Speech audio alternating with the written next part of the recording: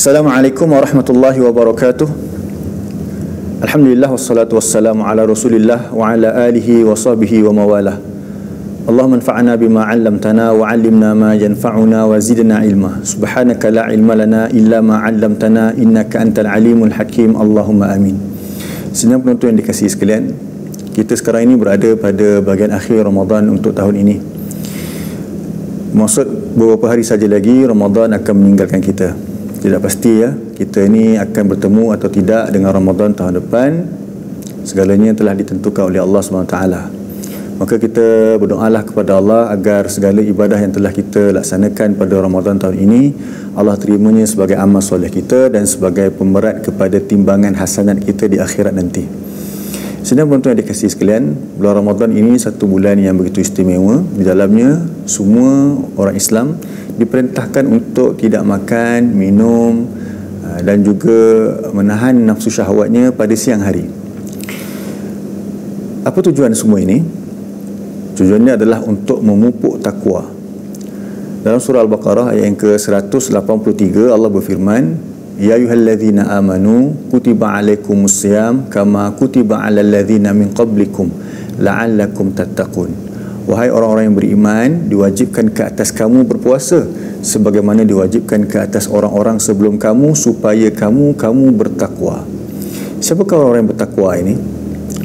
Allah berfirman dalam surah Al-Baqarah ayat yang pertama dan yang kedua Alif Lam Mim Zalikal kitabu la raiba fi hudal lil muttaqin Alif Lam Mim itu iaitu Alkitab tiada sebarang keraguan di dalamnya petunjuk bagi orang-orang yang bertakwa jadi sifat orang-orang yang bertakwa asasnya adalah hidup mereka menjadikan Al-Quran sebagai petunjuk.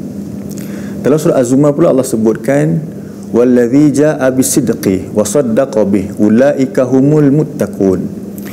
Dan orang yang datang membawa kebenaran itu iaitu Nabi Muhammad sallallahu alaihi wasallam membawa Al-Quran. Wa saddaqa bih dan pengikutnya yang membenarkan apa yang dibawanya itu. Ulaika humul muttaqun. Mereka itulah orang-orang yang bertakwa.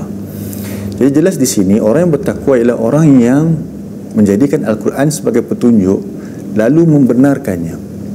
Bukti membenarkan Al-Quran ini ialah dengan melaksanakannya dengan mengikut segala apa yang diperintah dan meninggalkan apa yang dilarang oleh Allah SWT dalam surah Al-Baqarah ayat yang ke-121 Allah berfirman alladzina atainahumul kitaba yatlunahu haqqa tilawatihi ulaika yu'minuna bi orang-orang yang kami kurniakan kepada mereka alkitab dan mereka membaca alkitab itu dengan sebenar-benar bacaan mereka itulah orang-orang yang beriman terhadapnya. Ibnu Abbas menerangkan maksud yatlunahu haqqa tilawatihi. Mereka membacanya dengan sebenar-benar bacaan ialah yattabi'unahu haqqat tiba'ihi mereka mengikutnya iaitu mengikut al-Quran yang dibaca itu dengan sebenar-benar ikutan. Jadi orang yang bertakwa ialah orang yang membenarkan eh, yang yang menjadikan Al-Quran sebagai petunjuk membenarkannya lalu melaksananya mengikutnya. Jadi itulah maksud orang bertakwa. Jadi apa kaitan takwa tadi dengan Ramadan dengan puasa Ramadan ini jadi kita sedia maklum bahawa bulan Ramadan ini adalah bulan yang begitu istimewa sekali. Kerana di dalamnya diturunkan permulaan Al-Quran. Ini adalah anugerah yang paling agung yang diberikan oleh Allah kepada kita. Syahrul Ramadan allazi unzila fihi al-Quran. Hudan linnasi wa bayinatin minal huda wal furqan. Surah Al-Baqarah ayat yang ke-185. Bulan Ramadan itu ialah bulan turunnya permulaan Al-Quran sebagai petunjuk kepada seluruh manusia dan penjelasan-penjelasan daripada petunjuk tersebut juga Al-Furqan iaitu pembeza di antara yang hak dan yang batil. Jadi sudah tentulah ibadah puasa pada bulan Ramadan ini sangat berkait rapat dengan penurunan Al-Quran pada bulan Ramadan. Maka kita tidak boleh melihat Ramadan dari sudut pandang kita sendiri tetapi kita wajib melihat Ramadan daripada sudut Al-Quran. Jadi kita ni sebagai hamba Allah Allah ciptakan kita manusia tak lain tak bukan adalah untuk manusia ini mengabdikan diri kepadanya. Uh, wa ma khalaqtul jinna wal insa illa liya'budun. Dan tidaklah aku ciptakan jin dan manusia melainkan untuk mereka mengabdikan diri kepadaku. Surah az-zariyat ayat yang ke-56 jadi satu saja tujuan Allah ciptakan kita iaitu untuk mengabdikan diri kepada Allah. Matlamatnya apa dia? Matlamat dia supaya kita mendapat kehidupan yang uh, bahagia di akhirat nanti. Jadi kerja yang kita kena buat dekat dunia ini adalah mentaati segala perintah Allah. So apa tanda kita mentaati segala perintah Allah? Iaitu dengan mengikut Al-Quran ni. Yattabi'unahu haqqa tiba'ihi. Mengikut Al-Quran ini dengan sebenar-benar ikutan. Jadi tanda kita beriman kepada Al-Quran ialah kita tidak ragu-ragu dengannya. Dan kemudian kita sanggup berjuang, berjihad, berkorban dengan diri kita dan juga harta benda kita. Ha, dalam surah uh, surah yang ke-49 surah Al-Hujurat ayat yang ke-15 Innamal mu'minuna alladhina amanu billahi wa rasulih Sesungguhnya tidak dapat tidak Orang-orang yang beriman itu ialah orang-orang yang percaya dengan penuh yakin kepada Allah dan Rasulnya. Apa maksud percaya dengan penuh yakin kepada Allah dan Rasulnya?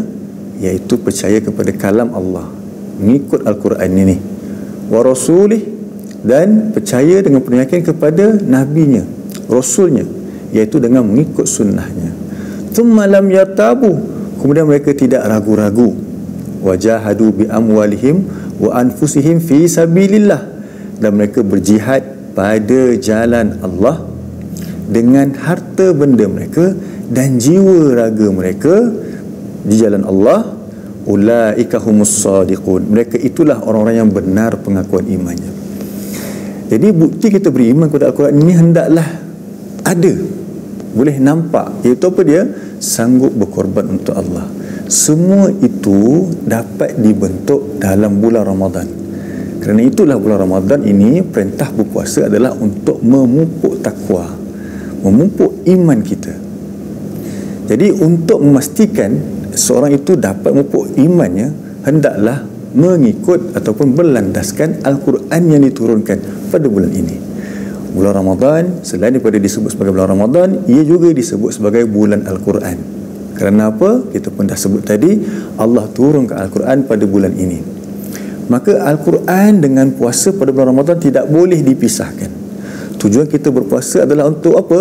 Untuk memantapkan takwa kita.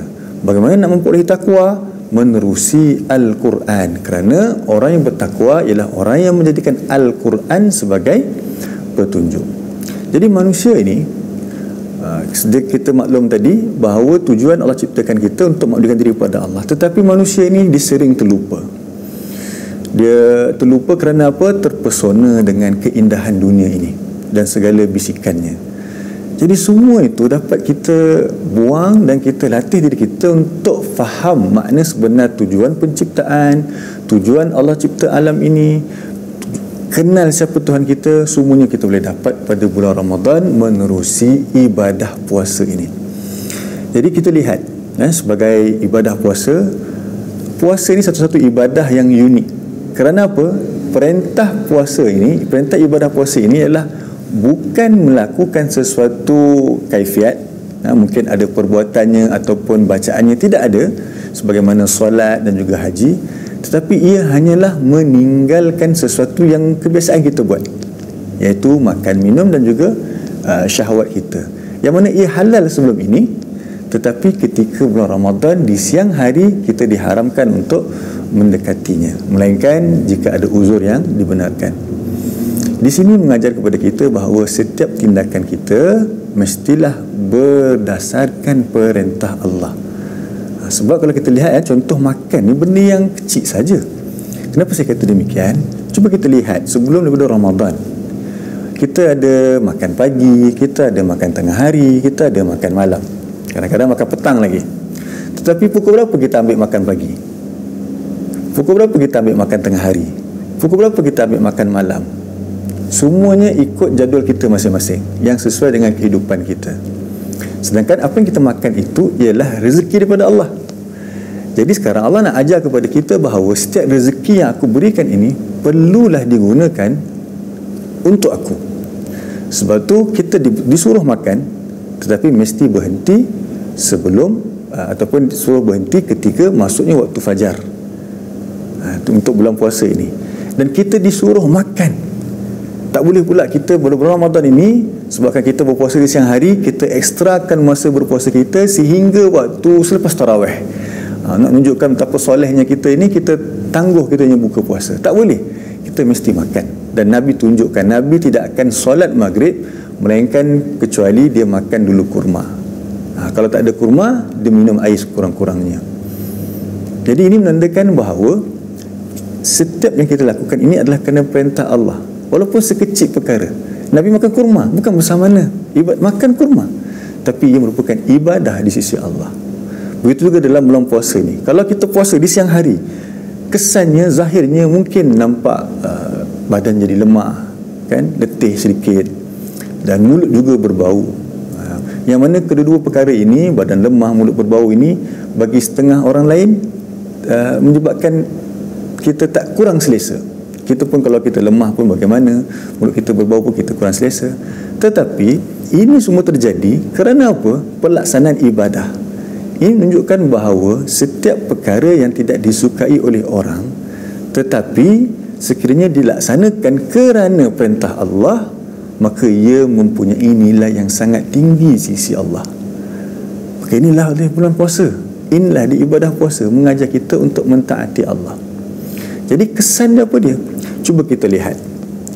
Uh, kita ni kalau kita tengok dalam surah Al-Baqarah ayat yang ke 29 Allah berfirman huwallazi khalaqalakum ma fil ardi jami'a.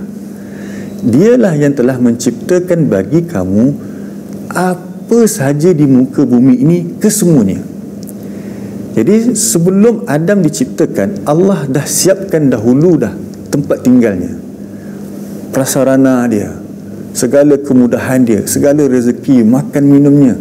Di lautan ada ikan untuk sumber protein kita. Di daratan ada makanannya ada tumbuh-tumbuhan. Di atas kita ada bumbung merupakan uh, langit. Di bawahnya ada awan yang menurunkan hujan yang hujan tersebut menumbuhkan tumbuh-tumbuhan semua tu Allah sediakan untuk manusia. Apa tujuan Allah sediakan semua perkara ini? Ini bukan soal kurma sahaja sebiji kurma yang kita makan ketika berbuka puasa yang dikira ibadah tadi. Tetapi keseluruhan yang Allah ciptakan ini samalah seperti kurma yang sebiji tadi. Mestilah digunakan untuk mentaati Allah. Ya ayuhan nas a'budu rabbakumul ladzi khalaqakum walladzina min qablikum la'allakum tattaqun. Wahai seluruh manusia abdikanlah diri kamu kepada Tuhan kamu yang telah menciptakan kamu dan orang-orang yang sebelum kamu supaya kamu kamu bertakwa. Allazi ja'ala lakumul allazi ja'ala lakumul arda firashan. Dialah yang telah menjadikan bagi kamu bumi dalam keadaan terhampar.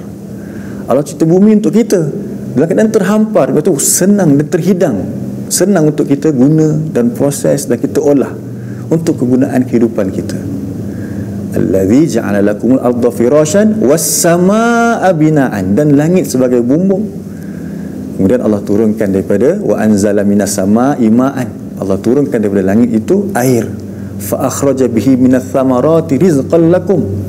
Dan dengan air tersebut Allah menumbuhkan daripadanya pelbagai buah-buahan sebagai rezeki bagi kamu. Fala taj'alu lillahi andadan. Dan janganlah kamu jadikan bagi Allah tandingan-tandingan. Wa antum ta'lamun sedangkan kamu kamu mengetahui. Jadi jelas di sini Allah menciptakan semua di atas muka bumi ini untuk kita gunakan kepada jalan mengabdikan diri kepada Allah. Tetapi 11 bulan sebelum Ramadan ini manusia terlupa hal ini. Sebahagiannya terlupa maka Ramadanlah sebagai bulan untuk melatihnya kembali memperingatkan kembali tujuan penciptaannya tujuan Allah sediakan segala prasarana di atas muka bumi ini. Saya ambil contoh mudah. Seorang ayah atau seorang ibu dia tahu anak dia mungkin berada jauh daripada dia. Jadi anak dia nak bergerak susah dan sebagainya nak balik kampung mungkin susah. Jadi seorang ayah atau ibu ini menyediakan kunci kereta menyerahkan kunci kereta kepada anaknya katanya kepada anaknya wahai anak ambillah kereta ini gunakan sebaik mungkin. Pergi belajar pergi ke masjid bantu orang lain balik kampung jumpa ayah. Jadi satu hari tu ayah dia kata kepada anak dia besok balik ayah nak jumpa kamu. Tu dia kata dia tak ada duit. Ayah pun bank inkan duit dalam akaun dia. Kemudian bila sampai pada waktu hari yang sepatutnya anaknya tak sampai-sampai bila ayahnya call rupanya dia berada di shopping-shopping mall. Dia mungkin di panggung wayang dan sebagainya. Apa perasaan ayahnya? Dia ayahnya telah sediakan kepadanya kemudahan beri lagi wang untuk dia balik ke rumah dia. Tetapi anaknya menggunakan kereta tadi wangnya tadi untuk kegunaan yang lain.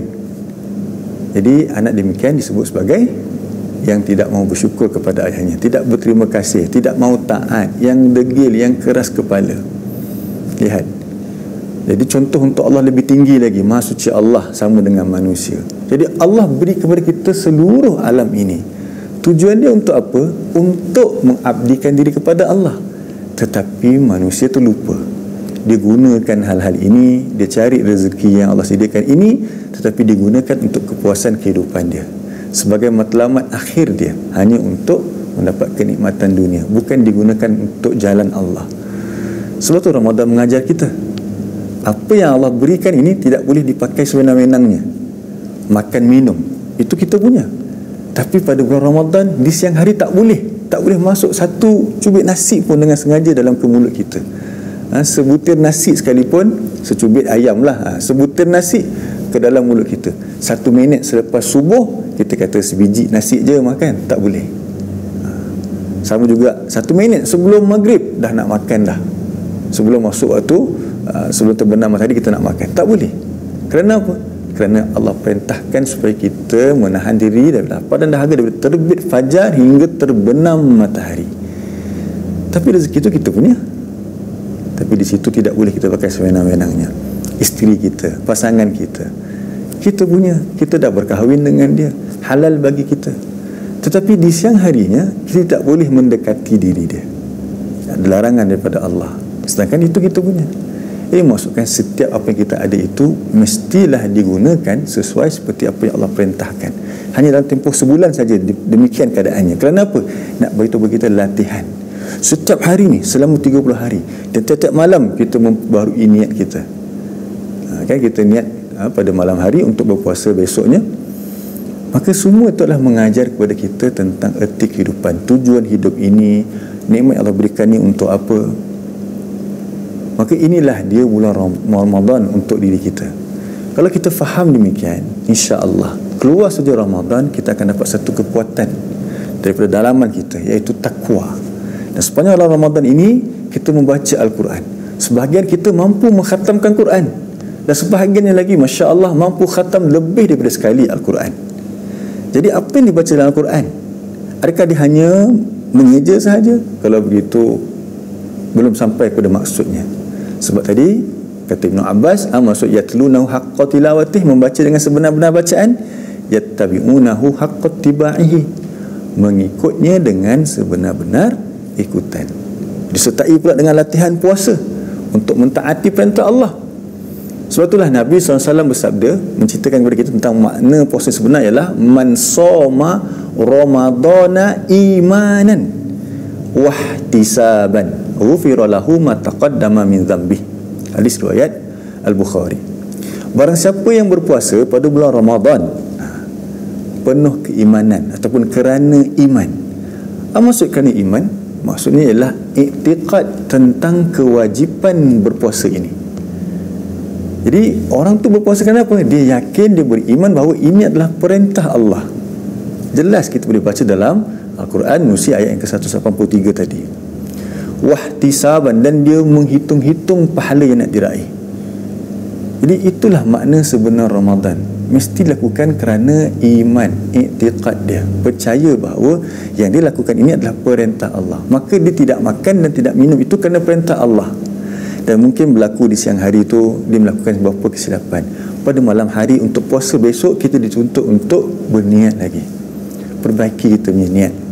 Maka besok kita perbaiki lagi ibadah puasa kita.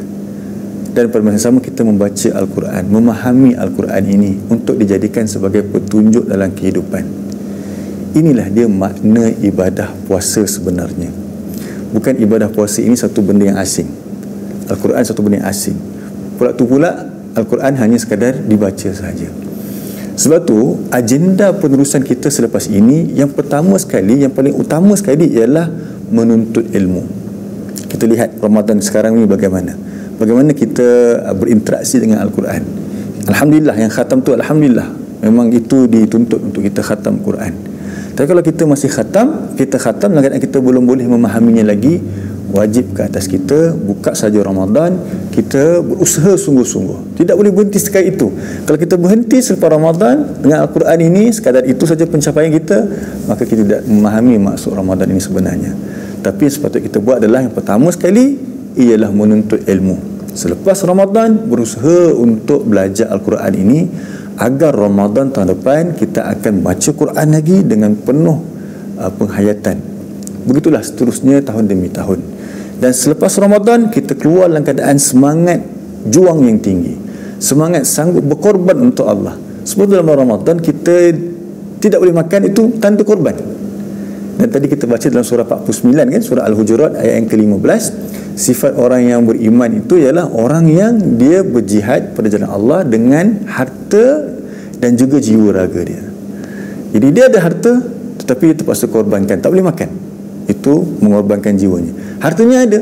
Dia keluarkan zakat. Sebab tu bulan Ramadan diwajibkan ke atas kita zakat fitrah.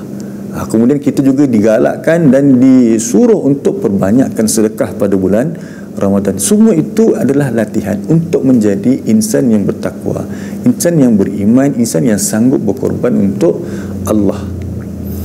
Jadi saya kira uh, sekadar ini dulu tazkirah kita dan insyaAllah nanti kita akan jumpa pada video yang akan datang jadi jazakumullah khairah atas perhatian tuan-tuan puan sekalian.